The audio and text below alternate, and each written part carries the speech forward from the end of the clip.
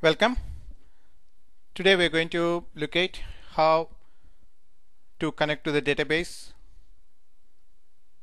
with VB script using ADO connection objects and uh, the record of record set objects and how to read data from database by executing SQL queries.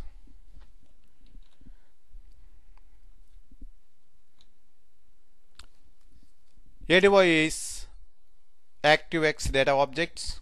It's a Microsoft technology and it is an interface to access database.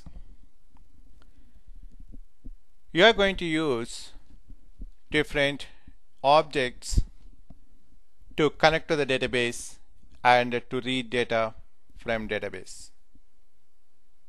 Those objects includes ADODB connection object, ADODB record set objects and you are going to open the database.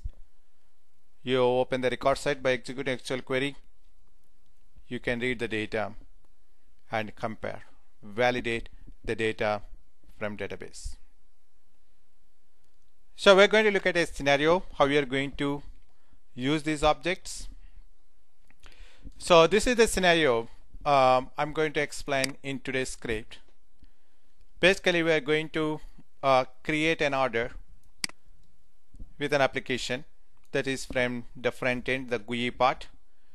And also we're going to capture the order from GUI whatever the application generates the order we capture that order. And at the same time we also read the order number from the database. For that you are going to create an object then connect to the database and read data from database and compare the results.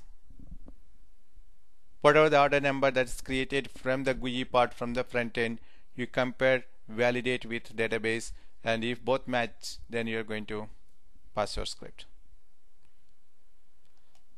So first we are going to create order from the front end. For that I'm going to just uh, record quickly a script to create an order. So I'm going to open application. Okay it's a standard application. So this is the application I want to open and then click OK. Now uh, I'm going to record against that application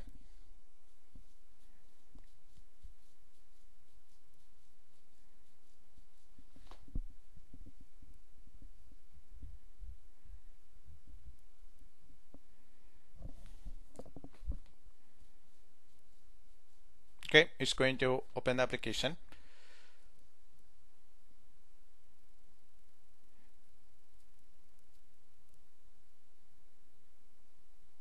So now I'm going to quickly record the script to create order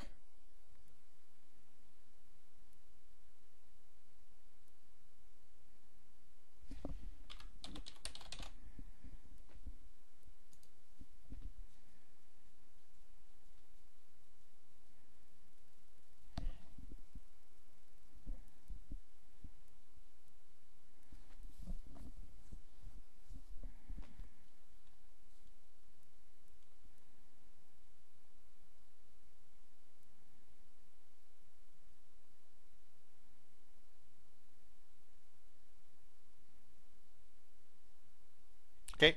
So now we are going to create an order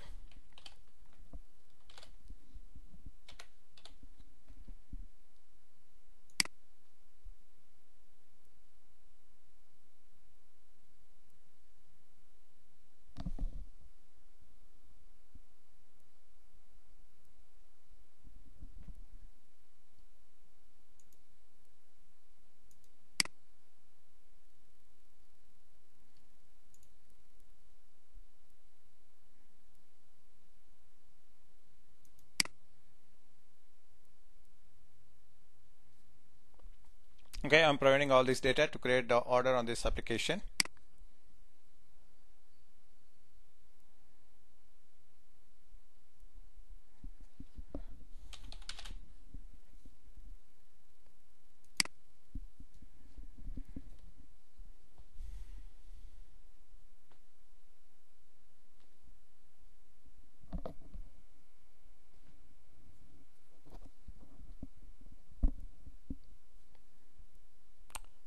Alright, the order is created. So let's stop recording. And also I'm going to capture that order number. So here I'm going to use GetRO property method to capture that order number. So if you don't know what is this GetRO property method, please watch my other video. That's where I explained what is GetRO, GetTO and SetTO properties. Please watch that video. So here we're going to use the GetRO property method. Uh, for that I'm going to add that object to my object repository. So open this object repository file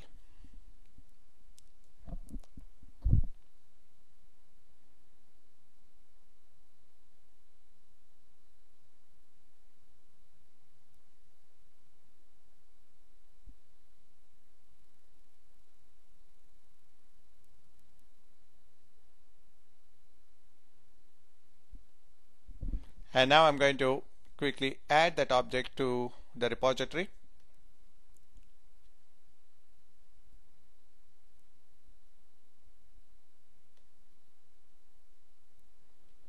So click on this button. And now I'm going to click on this edit box because that's where actually the order number is stored. And then okay that object gets added the repository.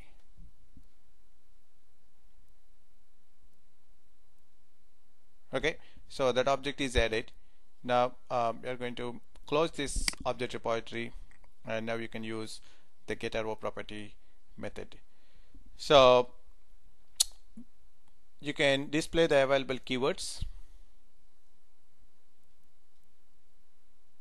that's where all the test objects are get exposed in the scripts um, so go to the test objects and then flight reservation and the order number.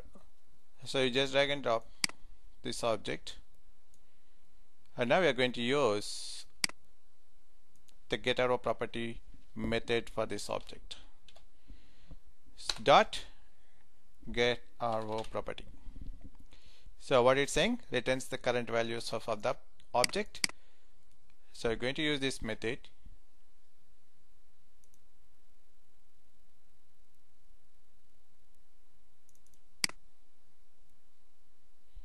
and now we're going to use the property that holds that number is the text property.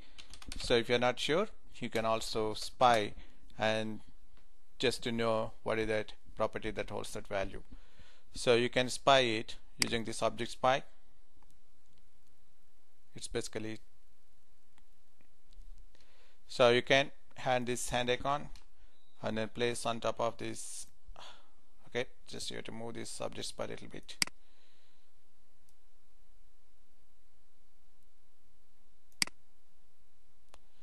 So now we are going to spy this object. So this is the object. Click on top of that I and then now we are going to give you uh, different properties from that object. So you are going to identify from this list of properties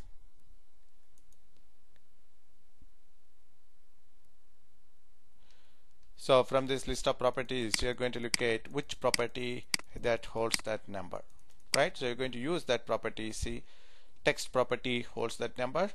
You can use that text property when you use get GetRO property method.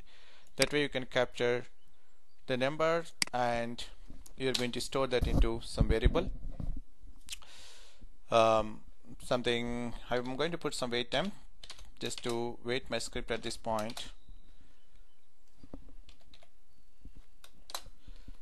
and also you're going to just declare one variable something order from GUI right? Order from GUI and then you're going to store that number into this variable. So that way you can capture the order number and then store into this variable and the remaining part of the script just you're making a connection to the database the underlying database of this application and then you're going to pull data from the database. So they are the different uh, uh, connection strings how you can make two different databases. Like you can make uh, the Oracle database the SQL Server database. But in our context the database what we are trying to connect is access database. That's where you declare one variable and you're using that variable to create this connection object. So this is the connection object.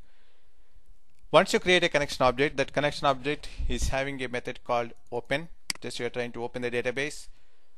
And that database contains two different arguments the open method. So the first argument is the ODBC drivers open database connectivity drivers.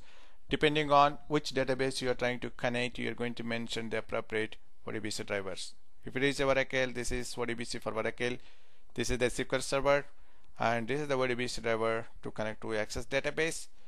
And you are going to mention what is your database details. Because if it is a, it is a Microsoft Access database so it's a flat file you're going to mention the file name with path. If it is a Oracle then you're going to mention the server name the username and passwords. It is SQL again the server name the username and passwords so this way you're going to mention what is this ODBC driver and also the database details to connect to the database. Once you connect to the database then you will get the record set. So you're going to create a record set object and here basically you're going to um, create an SQL query because the, this connection object is having a method called execute and for that you're going to mention the SQL query something select star from orders or you can also say here if you want to get uh, the order number so you can also say just one column data. You also mentioned select order number from orders where customer name is equal so and so. Basically here if you look at the data table I'm going to um, okay so data table. And then I also uh, mentioned the uh, customer name from this uh, feature. That way the script is going to read the customer name from the data table. Okay? So whatever the customer name. Say for example so just you can say something demo qtp okay? So that the, the the script is going to read this customer name. Even when I create order from the GUI also I'm going to read data for the customer name. So this is where the customer name right? And then you're going to mention here instead of hard-coded data because I want to read the data from the script. So data table dot value the customer name is the column.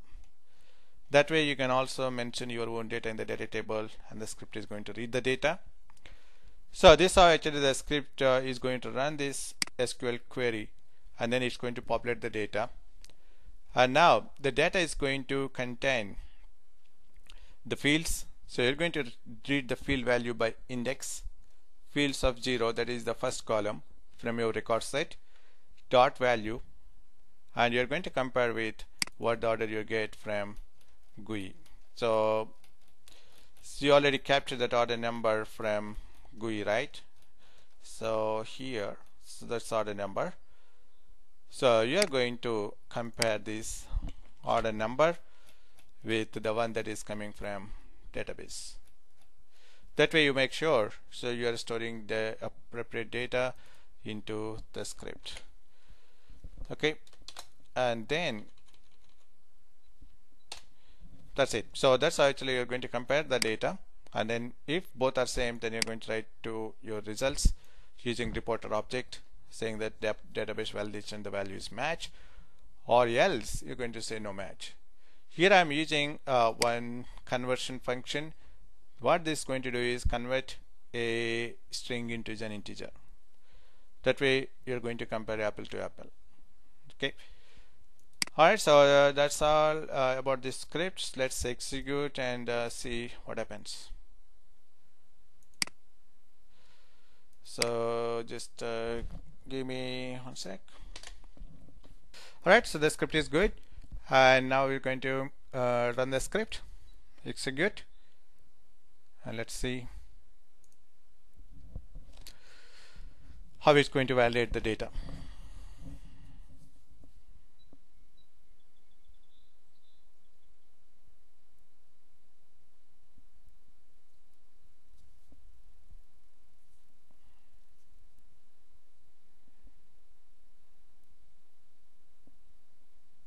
okay so it's going to create order first from GUI part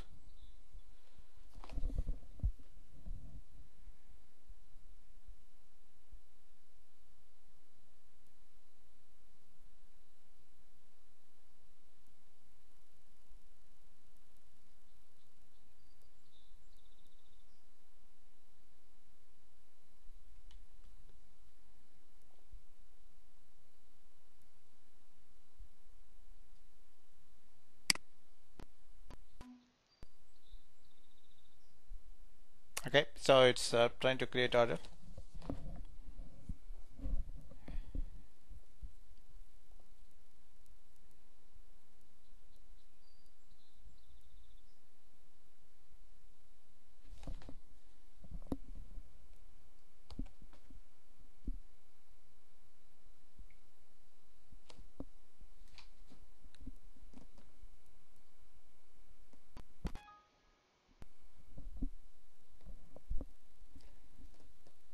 okay so this is anyway the synchronization issue there is some problem here just you need to to overcome this problem you have to put some wait time in your script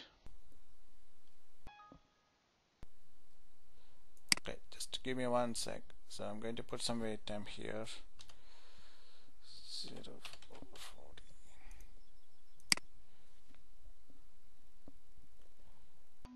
Alright, so because that's a synchronization issue your script is moving fast whereas the application is slow. That's why. Just you have to put some wait time to handle these scenarios. So anyway so it's creating order now.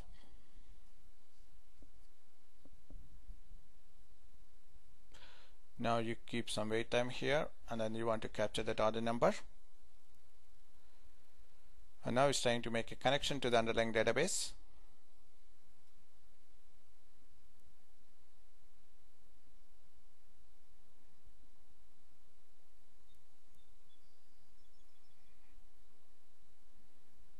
okay then now it's trying to compare and uh, the scripting is done. The execution is done and now we're going to look at the results.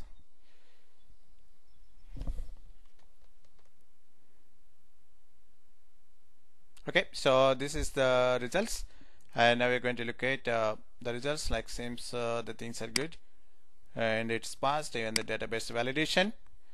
So it's going to say uh, the value is matched across the database. So this is how you can um, create uh, ADO DB connection object and records that object and then you can create a SQL query to read data from database.